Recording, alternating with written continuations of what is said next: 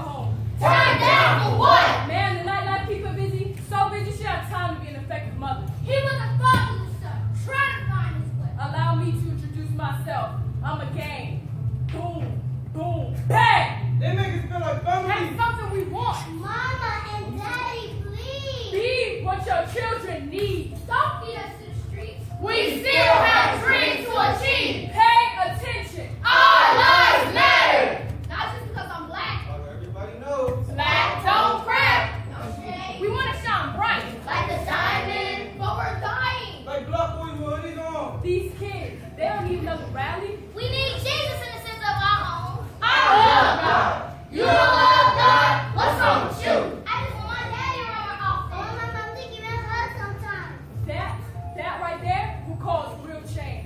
My brother didn't want to be no king. He was just looking for permission to come up. And now our